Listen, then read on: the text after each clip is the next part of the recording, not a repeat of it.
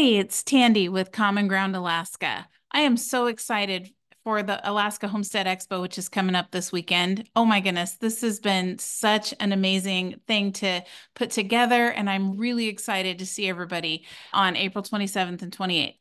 There have been a lot of questions about the classes. I've been answering emails and texts and different uh, messages about the classes. So I thought it would be good to give an overview of how the expo is going to work and also give a super brief description of each of the classes. So I'm just going to jump right in. I want to say if you don't have your Alaska Homestead um, Expo tickets yet, you can get those at commongroundalaska.com. Now, here is, I want to start by talking about the pig processing class because I've had lots of questions about that. People are wondering if maybe day two is a repeat of day one or any of that. And the answer to that is no. It is an entire course on processing a pig. Of course, the pig will arrive eh, we're not slaughtering it and doing all of that. That's just going to be a halved pig and he's going to start from there. A couple things they're going to be sharing. They're going to talk about smoke curing, they're going to talk about dry curing, and they're going to talk about salt curing. So, what I think is cool about this class is it's not just for pigs. You can take this information and use it on moose or caribou or even chickens. We smoke a couple of our chickens usually for the holidays. You can use it for beef if you're cutting up a beef. You can use this information for anything. So, although they will go into the cuts and everything of a pig, it's so much bigger than that. And if you're processing any meat at all whatsoever, this is going to be a really helpful class. So they're also going to be making lard and they're going to be doing the leaf lard as and they're doing the regular lard. So they're so they're going to do them separately and they're going to show all how to make that. This is a really comprehensive class. They're fitting a lot into a day and a half.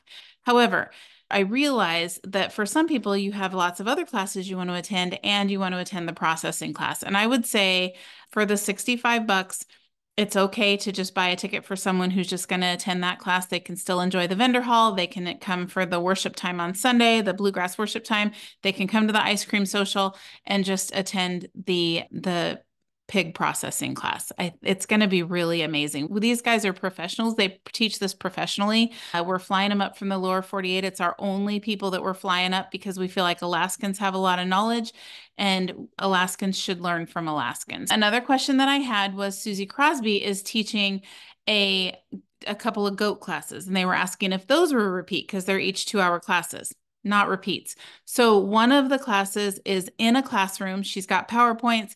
She's um, going to be showing how to make certain things with goat's milk. I think you're going to get some samples of some cheeses and some different things that she makes with goat milk. So she's going to be demonstrating that side of things there.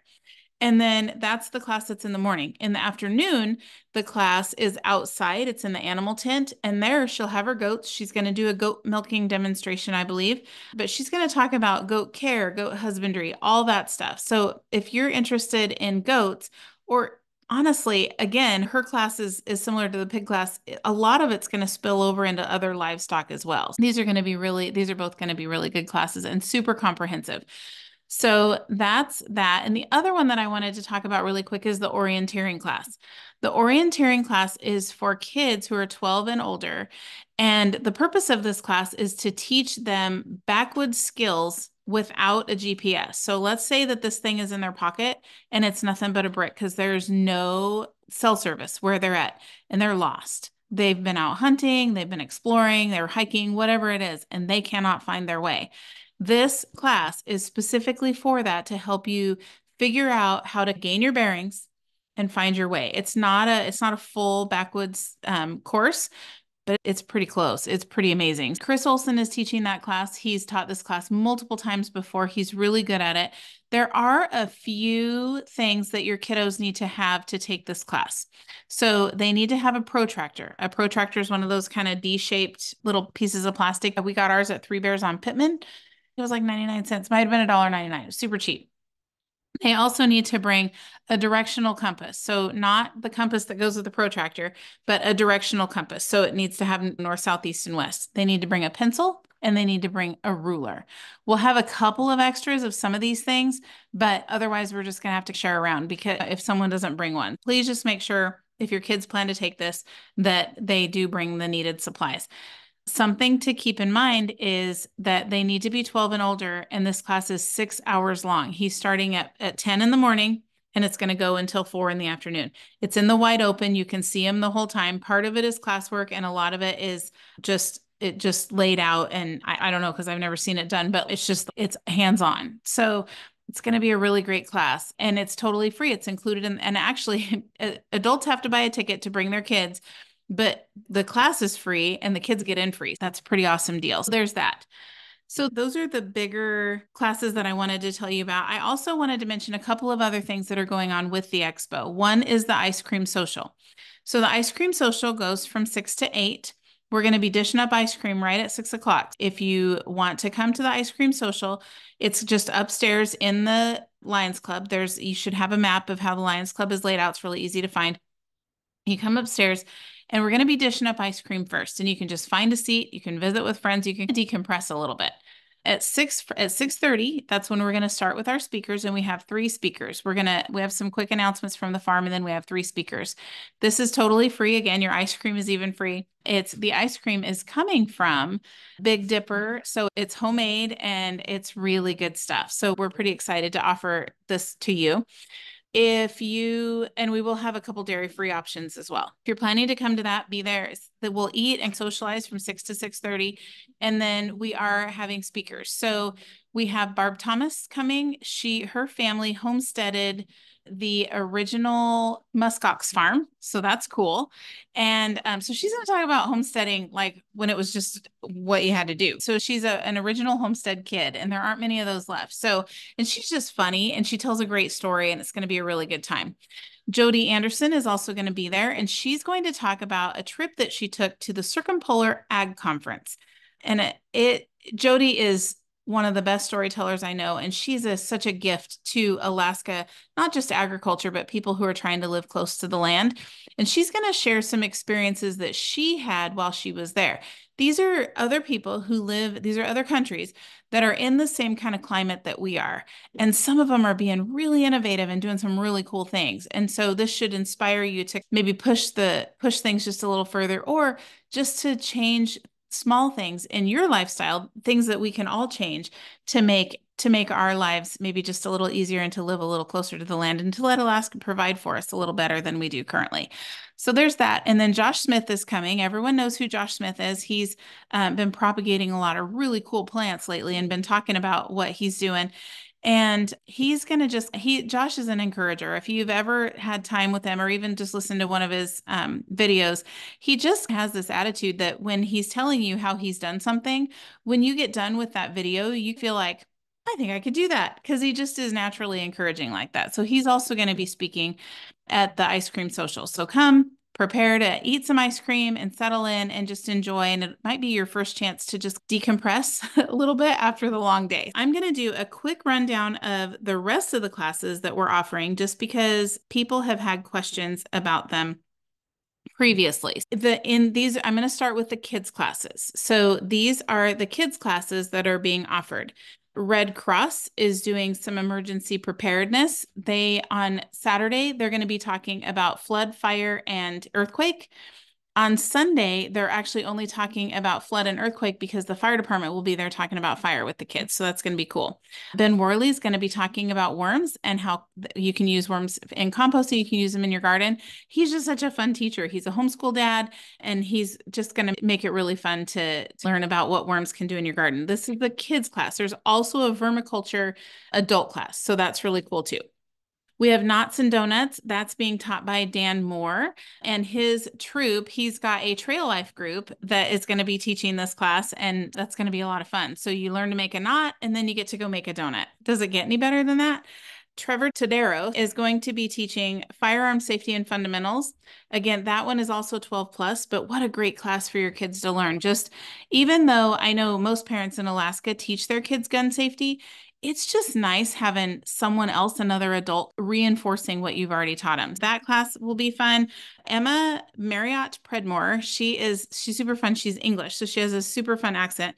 She's going to be teaching the kids how to mm-hmm. make seed bombs, which are these little seed, little seed, little clay things that you can put in the garden. You plant, and then they spring up with all these great beautiful plants. She's going to be talking about making seed tape, and the kids will actually have hands on get to make some seed tape. She's also going to be talking about succession planning with seeds. So it's going to be really fun. Tiffany Copeland from Aurora Cakery and Bakery is going to be teaching kids how to the science behind sourdough banana bread, and she makes science fun. Let me tell you, this class is going to be just a blast. So um, here's the thing about the sourdough class: it's limited to 12 kids, 12 students, but we're being we're teaching it twice. So it'll be taught once on Saturday and once on Sunday. What might be the easiest thing to do with this one, because we have to limit who is able to come, is maybe just one person from each family come. They get all the flyers, they'll get some sourdough to bring home, they get their bread to bring home, and um, then they can share with their siblings what they learned. So that might be one way to go about that. Um, Trevor Todero is also going to be teaching a leatherworking class, and that's ages seven and up. How cool is that? The kids get to do some leatherworking. Um, and then the fire department will be there on Sunday to talk about 10 steps of fire safety. That's just for the kids. The kids are free and they get to choose from all of these classes. Isn't that awesome? So now I'm going to talk about the Saturday workshops that we have. I'm just going to go over them really quick because most of them are pretty self-explanatory. Um, Bob Van Veldhuizen is going to be talking about soil prep for the garden and soil health for your Alaska orchard. Uh, Jared Eisen will be talking about ham radio. Um, he actually has a presentation that he's giving. It's pretty incredible when you think about how our communication system is could be so easily broken. Having a, a form of communication that doesn't require, again, this service is really it's a good thing to consider. So he's going to be talking about that. Elaine Martin is going to be talking about foraging, all different kinds of foraging. So in one class, she's going to be talking about Alaska medicinal and edible plant identification, which is awesome. Of course, we all need that. In a different class, she's going to be talking about mushrooms and including chaga. So they're both going to just really be great classes. Mark Wolbers from the Pioneer Fruit Growers Association is going to be talking about starting and managing your Alaska orchard. I'm going to be teaching a 101 gardening class. So this is not in depth, but it is going to be the basics. And my goal in that class is to make it so that when you leave, you feel like I could plant stuff and I think I'm going to get a harvest out of it. That's what I'm hoping that you'll do. And so that you'll leave with. And so you as you leave, you'll be thinking about different things that you can plant and things that you can do and ways that you can improve your soil and how you can go about it. And I think it's going to be a really cool class. Again, it is just a 101 class. So if you're already an avid gardener, you may not need this other than maybe there will be some fun tips for you that you hadn't um, thought of before. Michelle Deering is going to be talking about raising meat rabbits in Alaska. She is an incredible resource for meat rabbits. And what I love about this is you can raise them on such a small area. So you can raise a lot of protein for your family very inexpensively with a small footprint. So that's pretty cool. Be Well Chiropractic, raising healthy kids naturally. That is this class is really neat. Part of what I love about how Be Well Chiropractic goes about their classes is it's very no nonsense, but it's also very simplified. So I don't know how they do it, but they go deep while keeping it simple and they encourage you on ways that you can just do better. We're all looking for ways that we can improve our lives and do better, especially for our family. It's going to be a really informative class. Margaret Lowe will be talking about cooking with whole grains. She's going to have tons of samples there. So if you like samples, that's the class to attend. It's pretty amazing what you can do with whole grains too. And even if you are gluten free, she's got lots and lots of ideas for gluten free too. Growing plums in Alaska, Dan Moore and Fred Dicer are going to be talking about that. Let's see. Oh, Annette Bourne is going to be bringing in her spinning. She's bringing in her spinning wheel and she's going to talk about spinning. But I want to talk for just a second about her because her she's not in one of the regular classrooms. She's actually going to be in the vendor hall and she's going to be having classes in there. So if spinning, using a spinning wheel, or the other class she's teaching is raising angoras for fiber, she if you are interested in taking one of those classes from her, then my suggestion would be to get there just a few minutes early and go find her booth and let's and check with her and see what time her classes are going to be because I don't have it on the schedule. So if that's a class that you want to attend, you can make sure you put it on your itinerary. I'm going to be talking about canning salmon. I think what's fun about talking, and we'll go into pressure canning all around, but we're specifically going to be talking about canning salmon. Old Bear Honey is going to be doing a two hour beekeeping class. Super awesome. This is definitely a class you want to attend. Megan Walker is going to be talking about sourdough basics. It's again, she's, I just was talking to her yesterday and she's trying really hard to make sure she's got, you can see all the phases of sourdough plus the end result. And so it's going to just be a really good, really fast paced class. Sunny Hill Farm is coming in to talk about raising yaks in Alaska, and you might be surprised at how awesome these critters are. And I don't know, it's one of those things that when you hear about them, you think, maybe I really should consider this. Also, we're going to be having a class about raising Coturnix quail. So you go from like big yaks to little quail. Polaris Poultry is he that's the other class that doesn't have a classroom. He's going to be set up outside towards the end of the building He's going to have chicks for sale. He's going to have all sorts of things for sale. He have a little store set up. But he's also going to be talking about all aspects of raising poultry in Alaska, mostly chickens. So he's he's going to talk about what breeds are better for meat, what breeds are better for what all, all the different what to do when you first bring home chicks. He's just doing a lot of he's covering a lot of bases. So he he gets his own space for people to come to. So you'd have to check in with him on what his schedule is and then plan around that for whichever classes you of his that you want to attend. The other thing that is being taught, the last thing's being taught on Saturday, or the last thing to talk about, these are not in any order by any means, is raising fodder for your livestock. Now, this is a beginner's guide. It's being taught by my son, who is actually feeding his feeding fodder to his sheep. He's got some meat sheep that are really cute and I hope he doesn't eat them, but that's a different story. Anyway, he's raising fodder for them and so he's going to talk about what he's learned about that that's just Saturday. Now we're on to Sunday. I'm going to um, try and keep going quickly through these. Worm composting, like I mentioned before, there's a class for kids and a class for adults on worm composting, raising meat, or excuse me, raising sheep for fiber and meat. That's going to be a really cool class taught by Michelle Olson. It's kind of, sheep are a great resource for Alaskans because they don't tear up your ground, they don't need a ton of space and they're a little less expensive to feed. So it's definitely worth learning more about. Rick Wilder is going to be talking about building your own lithium batteries for your off-grid cabin. Rick is just brilliant when it comes to stuff like this and it even though I have no I've lived off-grid 3 times, I have no desire to do it again. Listening to him talk about this class was pretty fun.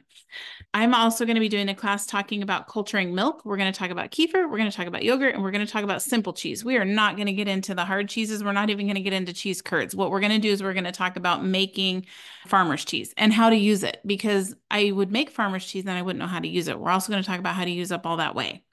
Old Bear Honey then on Sunday is going to be talking about making homemade vinegar and flavoring it. That's going to be really cool. Luita Robinson is a she's just a, a great friend of mine and Luita is man, she does not let challenges stop her. So she teaches a class on homesteading when disabled or elderly and this is just a great class if you have any reason, any questions about homesteading when you have when you face challenges she is so smart and she's lived it and just loves to share. She's also teaching a class on homestead first aid basics. So that's and again, she and she's got she got some donations for giveaways. She's doing a, really fun job. Next would be the West Lakes Fire Department is super passionate about equipping adults. They're not just talking to the kids, they're also teaching an adult class. And this is preparing your property for wildland fire safety. Here's the thing we've had really rainy summers for the last couple years, so we haven't really dealt much with fires here in the valley, but there have been some big ones in the state, and it's pretty scary. And so this is specifically talking about just tangible ways that you can prepare your home in case a wildland fire breaks out around you. What can you do? What are the best steps to take to save your home or to give your home its best um, chances? and what should you be doing? Things that you should be prepared for in case um, especially if a fire breaks out near you. We actually had that happen um, a few years back. We had a fire break out not far from us and it really makes you think and it's harder to think about things in the moment. It's much better to have a plan ahead of time Rachel Suzanne is going to be talking about the Alaska Family Milk Cow. And she is just an open book and she's a natural born teacher. So I think you're really going to enjoy this class with her. And then finally, Michelle Olson is going to be teaching a class on livestock guardian dogs. So that's it. But that's a lot. That's a lot packed into one weekend. And we just are excited that you're coming. If you have any questions, you can email me at tandy at commongroundalaska.com or you can text or call me at 907 354 8551. But we are just so stoked for this weekend and we cannot wait to see you there.